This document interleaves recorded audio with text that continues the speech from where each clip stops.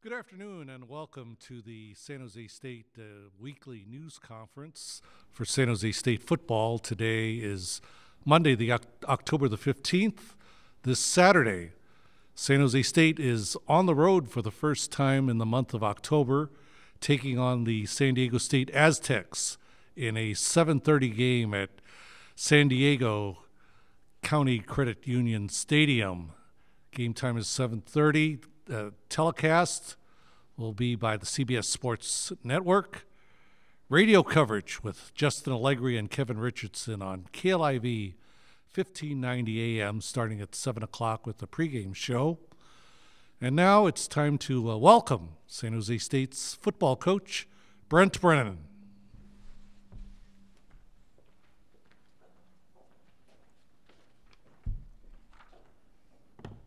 Thank you, the legendary Lawrence Fan. Um,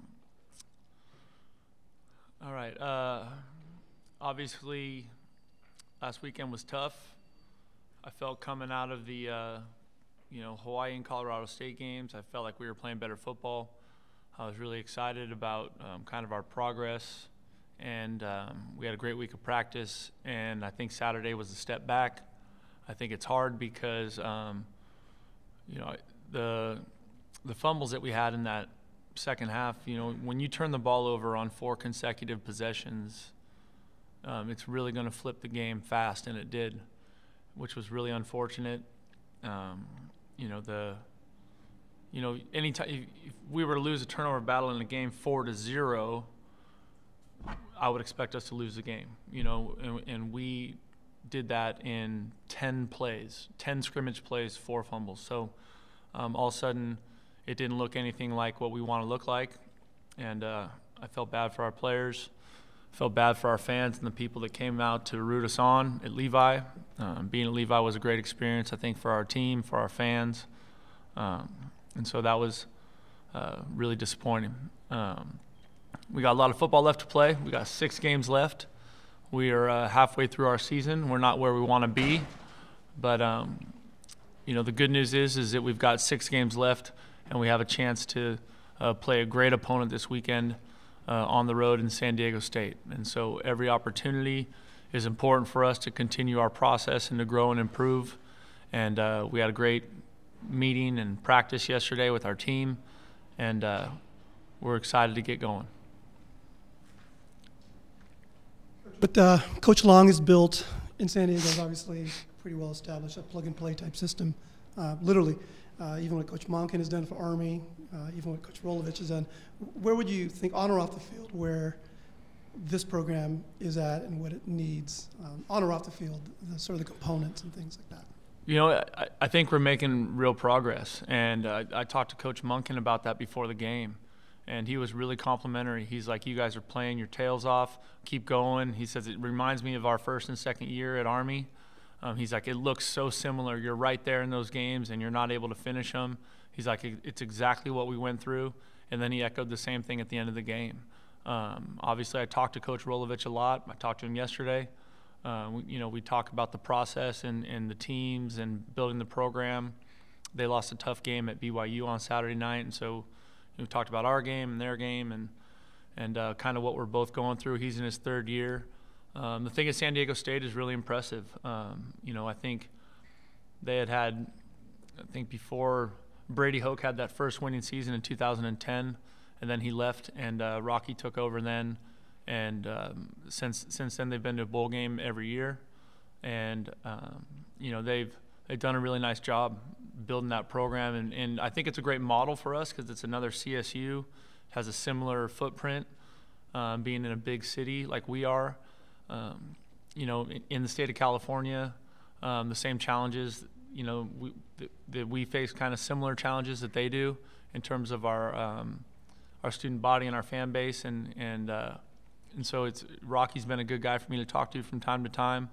Um, he's a fantastic football coach, obviously, but um, watching what they've built there is really impressive. And you know, I I actually took a job there in 2004. I was there for a month, and um, and they they were in the process of completing the facility upgrade. So they had the Hall of Fame, the new coaches' offices, the new track, uh, new locker room.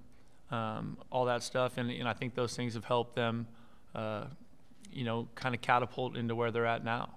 Um, it took them, you know, after getting some of that done, I think it took them three or four years to to really make the move they've made. Um, but if you go back, I think there's, you know, maybe, you know, they had had a, lot of seasons that looked similar to our track record um, before that. Um, and I think before 2010, I think there was 12 years of, of, of losing football seasons, you know, no bowl games. So um, to me, I talk about that a lot with our administration. I talk about that a lot with our donors.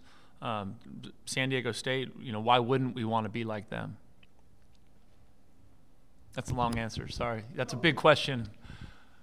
Coach, last coach last week, San Jose State had a great week of practice, but it led to a letdown at Levi's Stadium, which was disappointing to say the least. How will you and the rest of the coaching staff make sure that this week's practice will be even greater? You know, that started yesterday. Um, we started at 6 in the morning. Uh, we brought everybody back early. Um, gave us a chance to kind of address the issues um, that we were dealing with during the game and uh, put that game to bed and turn our attention to San Diego State. Um, you know, like the question I just answered, they've been, you know, the top or one of the top programs in our conference for a long time, and so it's a really good opportunity for us to get get a start on them and and get ready to go. Um, they present you with lots of different challenges uh, because they have been so good and they're and they're so well established. But that's exciting. I mean, that's why you play, is to get a chance to go play against good people. So. Uh, we're going to have a great week of practice. I've talked with all our seniors, and and uh, you know we had a great team meeting yesterday, and I think that's a great step in the direction of, of getting this thing where we want it to go. Uh, Coach, you just touched on it briefly, but um, after a game like on Saturday, how much do you, uh, you know, focus on that game? You know, obviously watch the film. How much do you like uh, try to focus on fixing those mistakes versus, you know, looking ahead to San Diego State, watching their film and stuff? Like, what's the balance?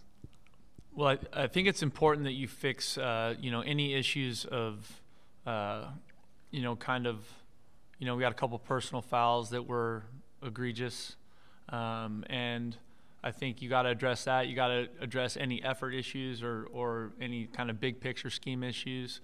Um, the not as much scheme issues on the defensive side of the ball, just because you don't face that um, that challenge very often. So, um, but all the other things that, that we need to address. You know, we did that yesterday morning, and it, it was really good. It was a really good day, really good start to our week. Feel the team's going to respond to the recent injury, well, the debilitating injury of Christian Chapman. Now that Chapman is out, do you feel that the offense will capitalize on you know not having that the winningness uh, as a quarterback available? Um, you know, I, I think they present all kinds of challenges.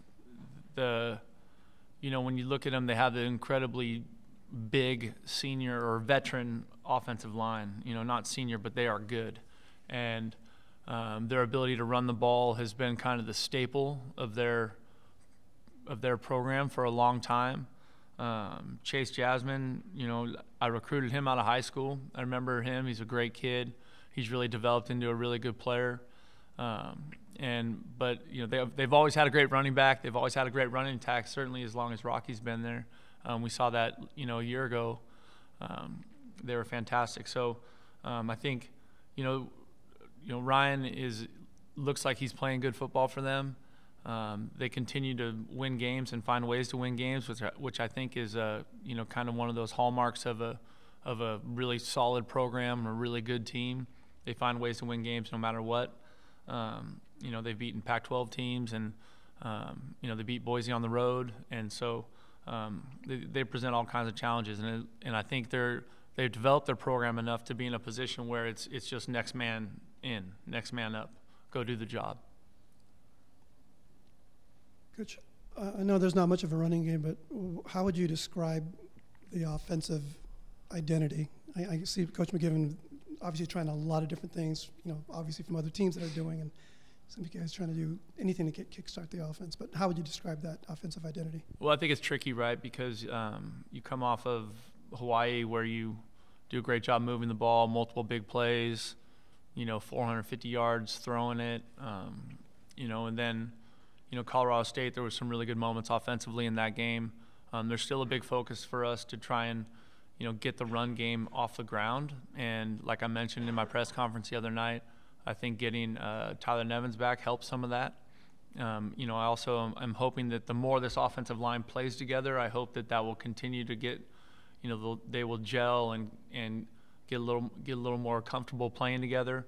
You know, um, those kids are fighting their tails off, and you know, we got new people coming in and out of there from guys getting injured, or you know, Dino Motes was playing D line a year ago for us, and he's starting at right tackle. So um, that that group is always a work in progress. I think. Um, you know, Coach McGiven, Coach Bernardi are putting good thoughts together. You know, I think we need to be better at sustaining blocks. I think that showed up on Saturday against Army.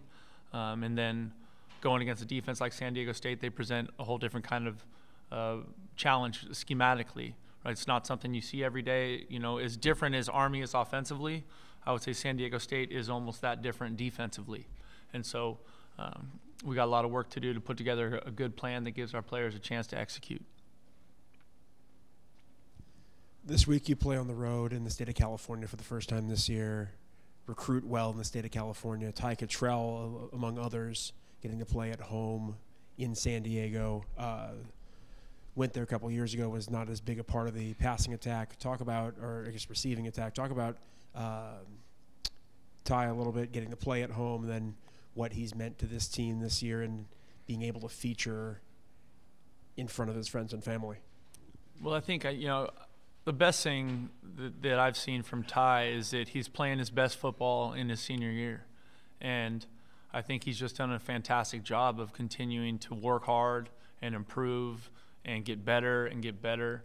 And uh, now he's at this place where he's playing really good football in his senior year for us, and he's finding you know all kinds of ways to impact the game as a receiver, as a returner, everything. Um, you know, he's an awesome kid, Oceanside High, you know, right up the street from the stadium. So it's going to be pretty special for him to go home. But I think all of our Southern California kids are going to feel that way. They're going to feel excited about going back to Southern California and, and playing there. You know, you know, what do they call it now? Qualcomm? Not anymore. It's San Diego Credit Union. Sorry, I remember it as the Murph. You know, like that's how old I am. Is going to the Murph. But uh, you know, I, I, I was joking with my wife. I was like, it, it just seems like we only play in venues that host Super Bowls. You know, week in and week out. Coach, the Spartan offensive line has to improve in run blocking and pass protection, obviously, but what does the Spartan defense have to do in order to keep the team intact? Well, I, I think um, coming out of the game, one of the things that was frustrating was uh, late in that game, it seemed like um, we didn't tackle as well as we had um, in previous weeks. And so, um, obviously, that's a big focus for our staff. Our defensive staff right now is, is talking about that. Um, you know, I think the flip side of that is, you know, just big picture as an offense, you can't turn the ball over four times in 10 plays, and you can't give them the ball on you know their side of the 50 yard line three times we, we we gave it to them on the 25 25 and then on the 42 and then one of them was a scoop and score so those are just um, you know that's that's asking too much of your defense to put them in that spot. You know i thought they bowed up on the first one did a nice job holding them to a field goal. Um, but um, that's the you know we just got to make sure that we're you know sure tackling and getting everybody to the football. Um, Coach, in, in other sports it's a little bigger, but um, the two schools kind of have a rivalry, the NorCal versus SoCal thing. Um, you guys share a lot of the same recruits. You guys recruited a lot of their players, vice versa. I'm sure a lot of the players have uh, friends on the on San Diego State. I'm wondering if that fires you guys up at all, if that makes it a little um, more meaningful for them than the average game. I think anytime you get to go against you know friends or people you care about, it adds a little little spice to the to the experience. You know, I, I think more than anything for our team is that we know we're going against the team that has been number one or two in this conference for the last 10 years, and basically, right? They've been the best team, arguably. Um, you know, so I, I think that's a, that's a big part of it. You know, is it that you know the the opportunity to play against a team that is as good as San Diego State. Um, I'm hopeful that's what get gets our juices flowing. Not that someone's high school teammate plays for them, but I'm sure that adds to it.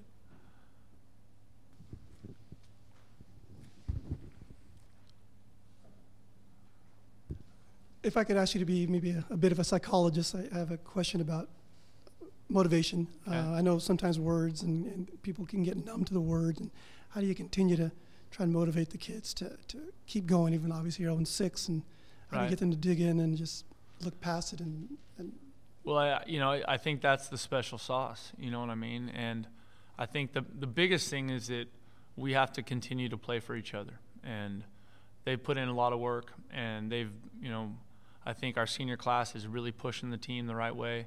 But at the end of the day, any team that's worth a darn, they play for each other, and and they battle their tails off for each other. And so um, that's a big part of our message this week, is you know that that fight for each other. And and I think as we continue to build our culture here, um, and and those relationships and those bonds get stronger, I, I think we'll play better because because of that brotherhood. But that that's my biggest message, and, and it is and it is complicated. But we have six games left to play. I mean, we have you know it's halftime. My dad used to always tell me nothing's less important than the score at halftime, you know. And uh, this isn't a single game, but it is a season, and w- we got to finish this thing. And there's still lots of good football that can be played. There's so many good things that can happen with this young team. Guys stepping up, new players emerging, right? Establishing guys that are in a position battle or a young player trying to establish himself as a really good player. I think there's so many exciting things that are happening that way that there's so much to focus on and, and be excited about going forward. Coach, it's clear that Spartan Nation watched a game that they'd rather forget, and a couple of fans told me that the Spartans should do less fighting and more coaching and practicing of football. So, what do you have to say to the fans and the critics in general? What do I have to say to the fans and the critics in general?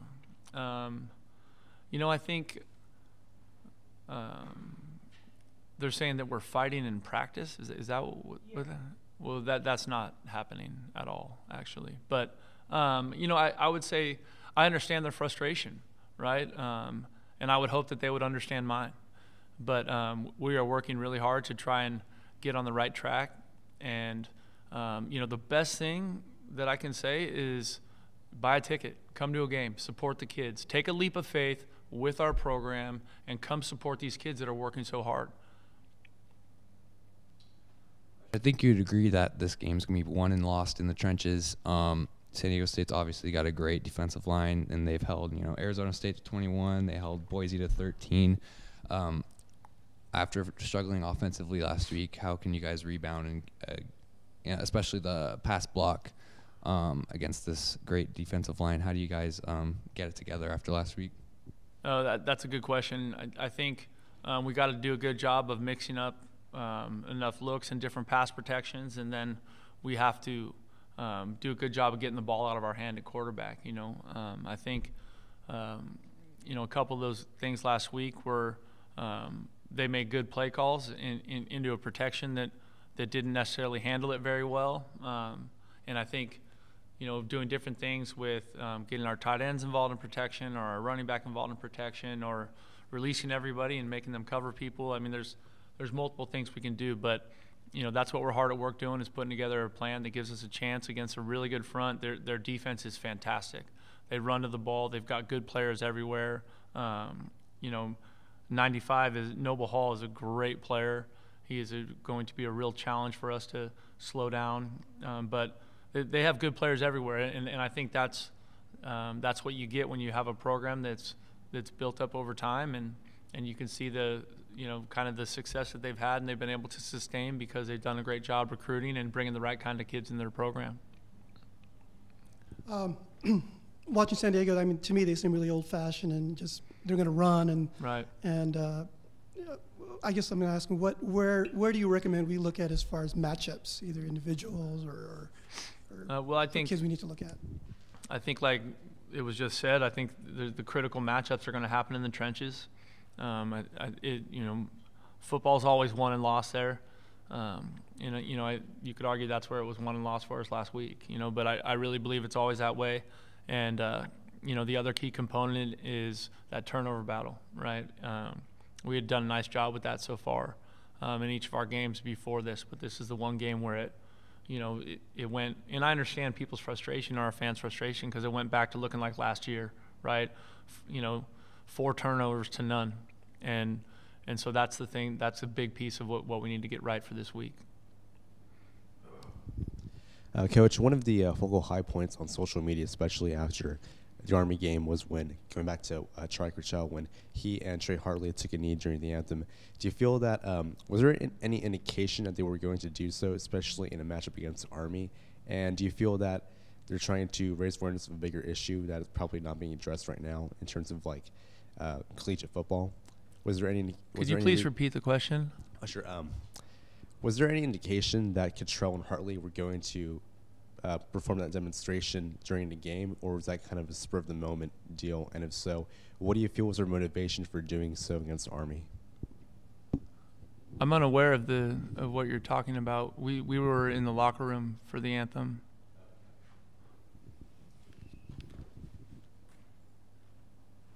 Thank you.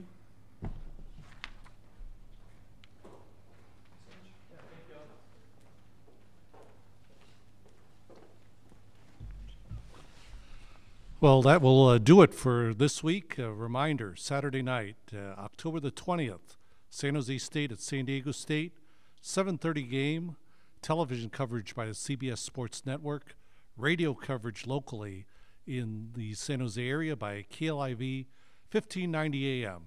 We'll see you again soon. Thanks very much.